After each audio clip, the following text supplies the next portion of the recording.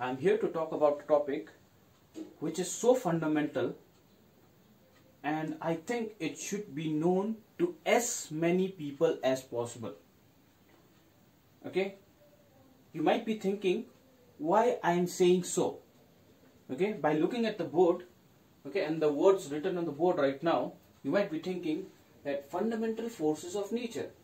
The word called force comes under science or physics. Okay, the word called gravitational force, electromagnetism force, strong nuclear force, etc. Okay, uh, you might be thinking that uh, this comes under physics and either this comes under science or some kind of subjects like that and this is very much irrelevant for me and I should not be knowing this particular topics. You are partially correct. Okay, but you are also wrong because this particular topic either it has not been told to you that there exists some kind of force in nature or you might have you know uh, come across this explanation and you could not find it as fundamental as the topic is actually is. Okay? So the moment we say fundamental forces of nature okay? Fundamental. The this particular word itself means that uh, this thing or this forces are you know a topic that has not been decided whether by some scientists or by some professors uh, Newton, Einstein, uh, Coulombs or Rutherford okay Feynman okay.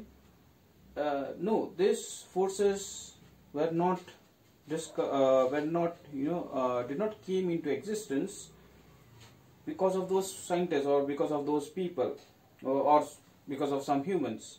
But the way we say it fundamental is because they already existed. And those scientists of course they just discovered that. Okay they just uncovered the mystery because they were just studying the nature. Okay so that is the reason why we call physics as the study of nature or the fundamental study of nature. Okay, because in this particular subject what we do is we it is there. The things are already there. Okay, so what we are doing is we are just you know looking up and uncovering the mysteries of nature. So this particular topic or all these forces that is the four forces okay? Whether we existed or we did not existed okay? Uh, whether we studied science or whether we studied physics or we did not study this particular subject. This was already there. We just uncovered the mystery okay? So that is the reason why it is so fundamental okay? So for you why you should know this topic? It is because you sitting on your chair right now and we viewing this particular lecture, okay, looking into this particular lecture, you sitting on the chair, it is gravity. It is gravity that is pulling you down and helping you sit on that particular chair. Okay. So that is your gravitational force. Then coming to your electromagnetic force okay? You sitting on the chair and still not falling down. Okay? You sitting on this particular chair and still not falling down. Or something like this. Okay? That is electromagnetic interaction. Okay let me make it simple. You view, viewing this particular lecture in your screen right now. Okay? Suppose this is my screen and I am viewing the lecture so this is my electromagnetic interaction. Strong nuclear force. Okay, the moment I say nuclear, then it will be like, oh god, this is dangerous. Okay, that is like most of the people view this particular word as dangerous. Okay, and when I say weak nuclear force, then it will be like a little less dangerous. Okay, so, nuclear force. You sitting in the chair, viewing the lecture. Okay, as we know, everything is made up of atom. okay everything is made up of atoms an atom is going to consist of a proton a neutron and some electrons okay so this is what an atom is made up of an atom is made up of electron proton and neutron. So an atom okay has electrons. Suppose this is suppose this is my atom okay? This entire space is my atom. And in the center I have the nucleus okay a nucleus is nothing but it is made up of proton and a neutron. So these are two subatomic particles. Okay a proton and a neutron. And the place where this proton and neutron sits or resides is known as a nucleus. Okay and we have the electron revolving around this nucleus. Okay so this particular nucleus since an atom is made up of electron proton and neutron okay this particular nucleus where the proton and the neutron resides okay so what is holding this proton and neutron together? Okay what is it that is holding this particular nucleus together? Or else it should be floating like this right? But it is not floating you are sitting on the chair that is made up of atom. So what is it that is holding this particular subatomic particles that is the proton and the neutron together? It is the strong nuclear force. Okay? So coming to the last weak nuclear force. Okay? As i say the moment i say weak nuclear force you the idea that comes in the brain is oh the it's weak okay maybe the nuclear force is not very very you know very very effective. It is not going to be too much harmful. No it is not something like that. Weak nuclear force is something responsible for changing one subatomic particle okay one subatomic particle into another subatomic particle.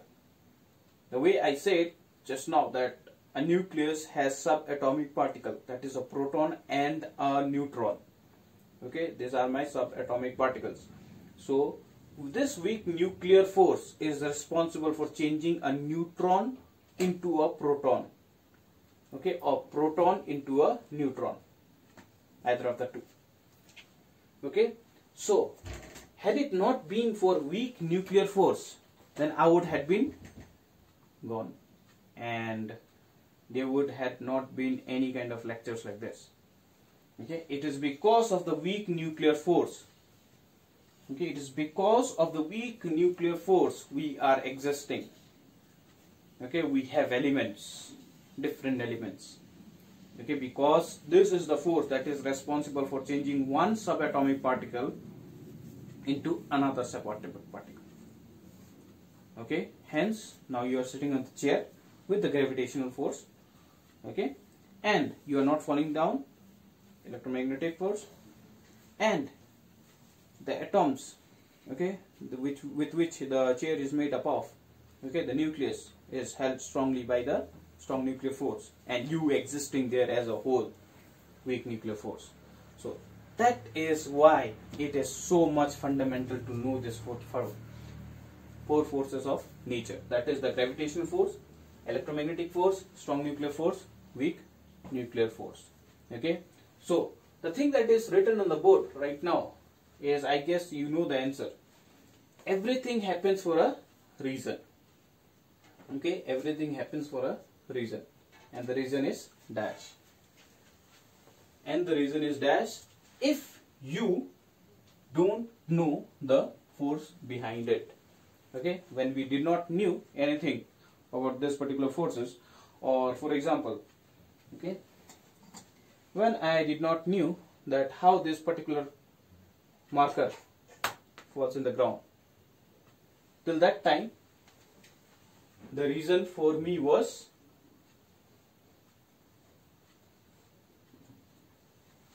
magic. As simple as that. Okay.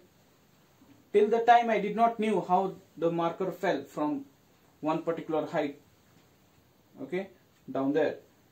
Till that time I did not knew the force behind it. Therefore the reason is magic. Okay?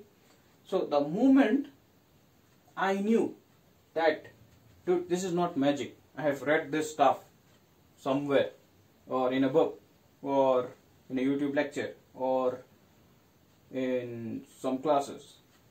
Okay? That there was a person whose name was Sir Isaac Newton okay he was sitting down uh, under a apple tree okay and an apple fell in his head and suddenly he realized that he should not take this particular topic as for granted okay so because whenever we take anything for granted it becomes a little shaky okay be it in our real life or be it in physics or be it in any other stuff okay taking granted will make things very shaky and you are going to have very little less knowledge about that particular stuff in your life. Okay so it was Sir Isaac Newton who did not take this particular phenomena for granted and therefore he discovered something known as gravity. Okay so that particular marker falling down from a particular height okay told me that it was not magic but it was physics. It was gravity. Okay? So everything happens for a reason. And the reason is magic. If you do not know or if you don't know the force behind it. And the reason is